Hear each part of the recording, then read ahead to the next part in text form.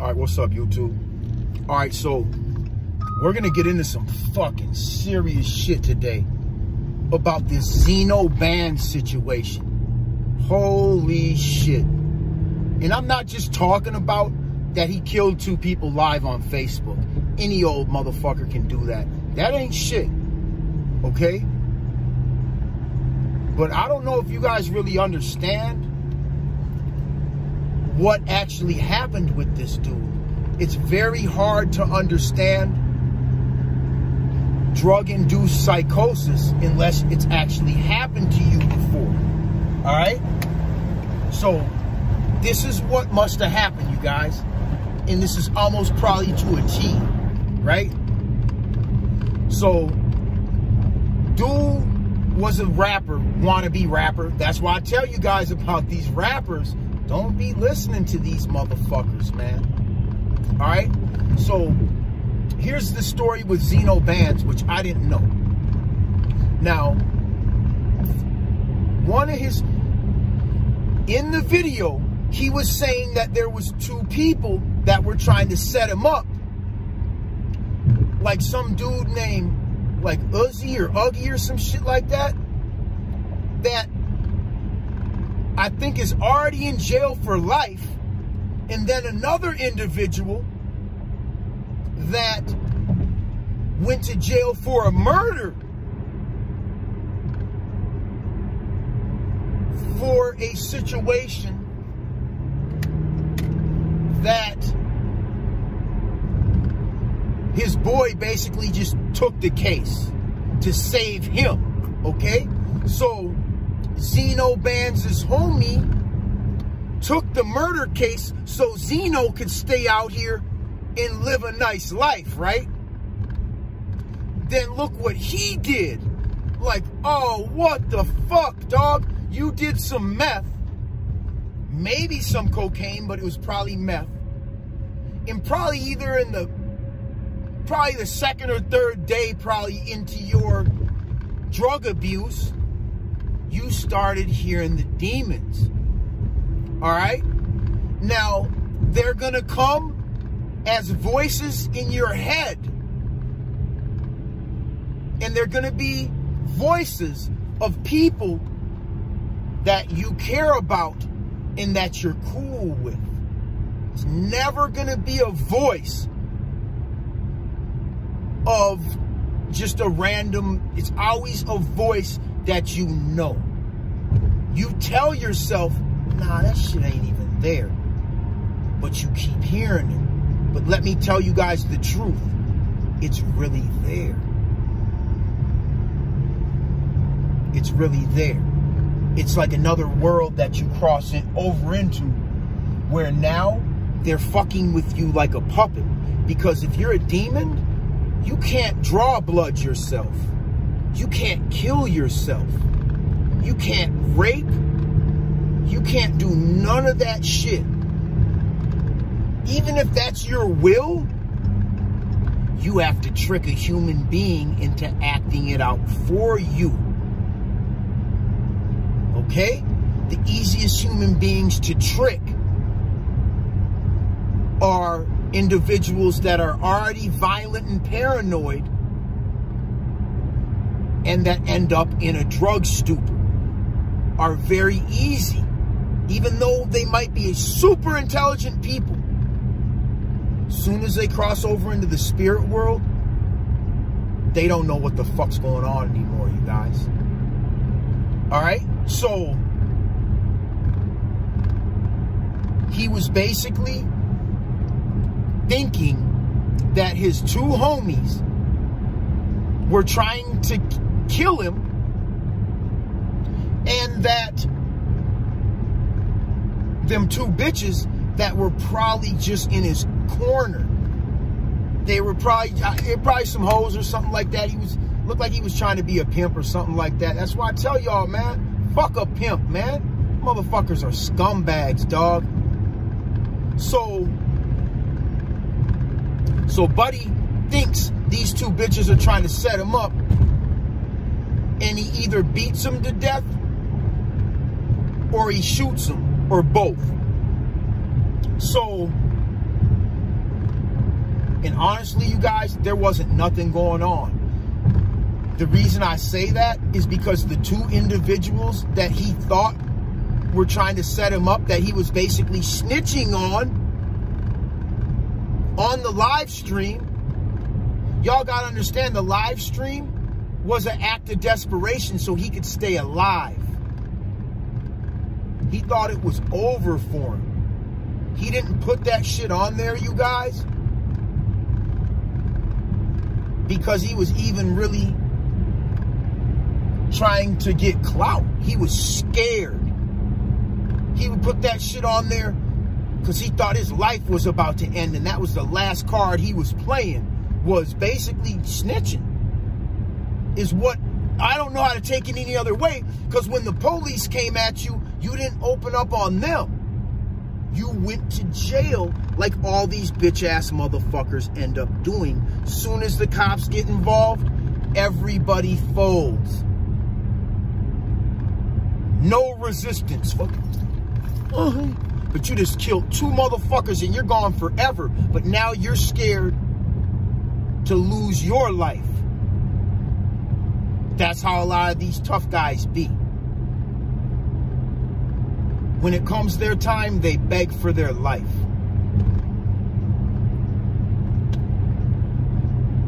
Fucking rappers, dog. Like, damn.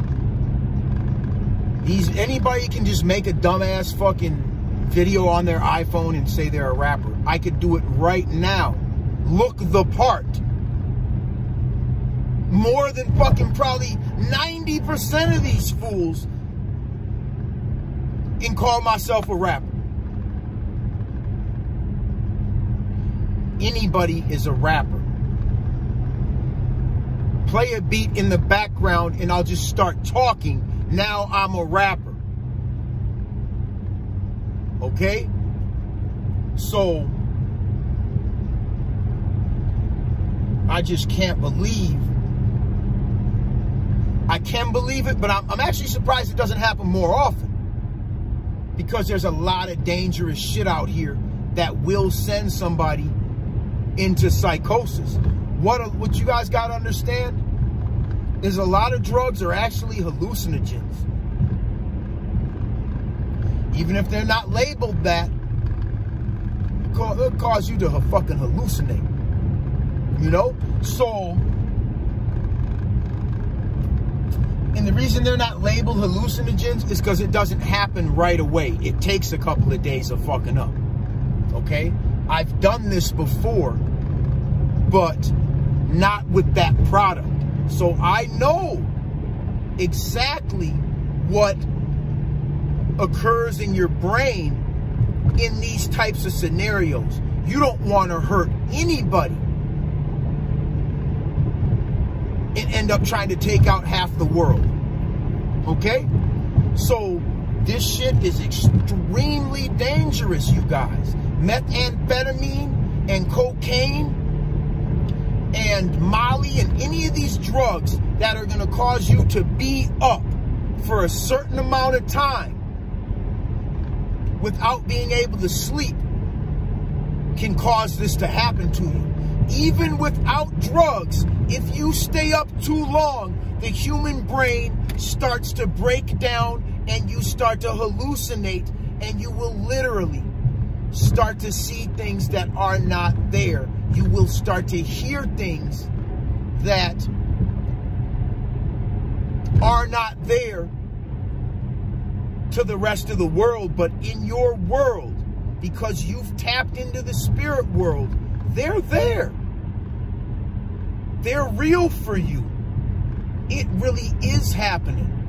Nobody else is going to see it. Nobody else is going to hear it. But it's really happening to you. It's real. It can take your life. It can cause you to kill somebody that you love.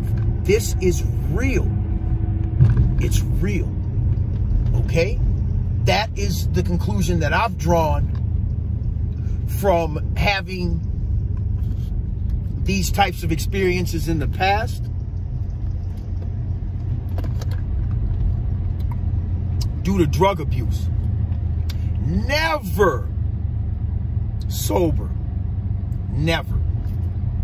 Like, yeah, I'm paranoid, but never to the degree of abusing any of those drugs, which you couldn't pay me to do any of those chemicals. It wouldn't matter. I would blow it on the ground, be like, get the fuck out of here, man. You know? Now, if you want to do those chemicals, I recommend that you don't. You know?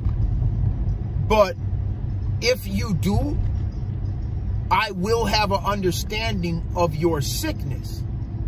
You know? And I'll have maybe a little bit of empathy for you, but not too much. Not too much because I've been there and I beat those kind of fucking demons. So I expect you to do it also. So I'm only going to have so much mercy on you if you fall victim to this demon spirit realm. It's not just a drug, you guys. It takes you to outer space. The twilight zone. You know? In the Greek Greek and Hebrew religion, they consider drug abuse to be a form of witchcraft. And I just learned that maybe in the last six months. I've always kind of known, but I never really knew that certain religion had already written this and etched it in stone. You know, as shit that we shouldn't do as human beings. And if we do, then we lose our connection with God. Not permanently, but for a certain amount of time, we're with the demons. You know? So, Zino seemed to be a bitch ass motherfucker in the first place. Like, damn, his homie went and, I guess, did life for him, took a body, and this dude just caught two more. Man, that's why I said you like a motherfucker will fuck they whole team off out here, you guys. Like, this shit is retarded, man. A motherfucker will fuck their whole team off, and none of y'all have nothing to show for this shit in a second. So, y'all got to be careful, man, about who you hang around with, who you're influenced by, and what you're influenced by. You know what I'm saying? Like them girls, man, I don't know what them young girls were thinking, man. But it's just kind of sad that I know the last thing they were thinking is that this nigga's going to kill us. You know what I'm saying? If we invite him into our house. Because my guy was saying he was from Sacramento. So he must have met some bitches out there in Vacaville, which you probably should be kind of paranoid if you just meeting bitches and you just, women in general, they can set you up and get you fucked up. And they do be guilty of a lot of fucked up shit. Okay? But in that scenario, I'm just not seeing it. Because the two people that he thought were trying to get him were his best friends, but that's how the demons work. That's how they'll play you, right? So them bitches could have been like in love with that fool and he still killed them like that. You know, them could have been his two bottom bitches and he just got all twacked out because it's always the people that are close to you that you're gonna hear. It's never gonna be a stranger. It's always gonna be somebody that you're so appalled that they could even attempt to plot on you, that you just snap. Because if it was a stranger plotting on you, the voice of a stranger, it wouldn't have the same effect. It has to be a familiar voice. It's always going to be somebody that you feel like you know in these scenarios of psychosis, that's always who you're going to think is your enemy. is the closest people to you.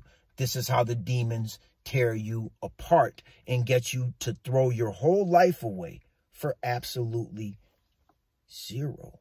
It's pretty fucking amazing if you ask me. It's an amazing phenomenon that occurs. If you ask me. It's definitely some supernatural shit that is hella abnormal.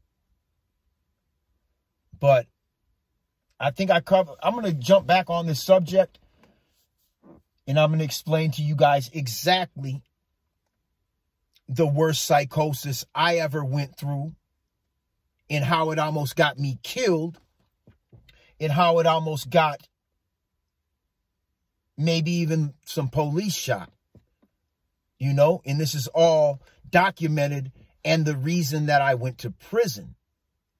I didn't want to talk about it for at least about nine or 10 years to actually talk about what really happened that day. Because I don't, back then, I didn't really want that shit to be used against me at any point, which it can now once I speak on it. You know what I'm saying? Like, I, you know, motherfuckers can use that at some point and be like, damn, bro, like, you did say that back then, you know? So when I tell this story, it's not going to incriminate me on anything relevant to statute of limitations, but it's going to make me look hella bad as far as like how volatile um my my my whole psychological well-being can become you know? So it's a story that I've avoided telling except for to a few people. But it was some fucking serious shit. But I'm out you guys